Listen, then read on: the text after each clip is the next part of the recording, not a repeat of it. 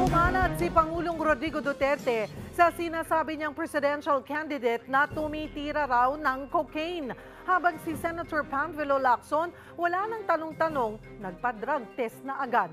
Magbabalita si Jem Avancenia.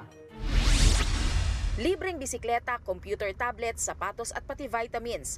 Yan ang ipinamudmod ng presidential aspirant na si Senator Bongo nang dumayo siya sa baluarte ni Senator Manny Pacquiao sa General Santos City kahapon. Una siyang namigay ng regalo sa mga pasyente at frontliners sa Royeca City Hospital bago siya bumisita sa mga nasunugan sa Barangay Kalumpang at sa grupo ng solo parents sa Jensan. Wala pa ring running mate ang senador pero sinamahan siyang maglibot ng ilang senatorial candidate na sina Greco Belhica, Ray Langit at Robin Padilla. Di gaya ng dati, mukhang hindi na rin umaasa ang senador na makakatandem niya pa si Mayor Sara Duterte. Sa ngayon po, wala naman pong update dyan. Di naman po kami nagkakausap.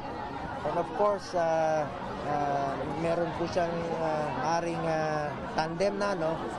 Patuloy muna ako mga kampanya uh, with my party mates, no? Sa uh, PDDS at sa PDP along with the President and some uh, uh, senatorial balls.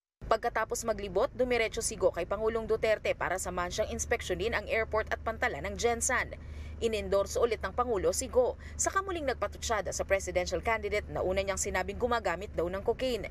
Pero ang tanong ng marami, kung alam ng Pangulo na gumagamit ito ng cocaine, bakit hindi niya ipaaresto? Bakit hindi natin hinuli? Bakit hindi mo hinuli, Presidente? Hindi mo alam ang mga mayaman. They go on yacht, yate, or in, in the air. Doon yan sila magsupsop ng ah, ano nila. Tikom naman ang bibig ni Senator Go sa blind item ng Pangulo. Pero handa rin daw siyang magpa-drug test. Ako naman po, eh, willing ako magpa-drug test anytime of the day. Anytime po, kung kakailanganin, do hindi mandatory, pero just to prove lang po sa Pilipino kung sino po yung fit na mamuno sa ating bansa. Pero drug test lang naman ang usapan. Una na dyan ang tandem ni na Senator Ping Lacson at Tito Soto. Kumuha na kasi sila ng multi-drug test sa PIDEA kahapon at pareho silang nagnegatibo. Paglilinaw ni Lacson, hindi naman nila hinahamon ang ibang kandidato na magpa-drug test din. Bahala na raw sila kung gusto nilang gumaya. These are way of walking the talk, no? Kasi may mga challenges, so wala na maraming salita. Pumunta na lang kami rito.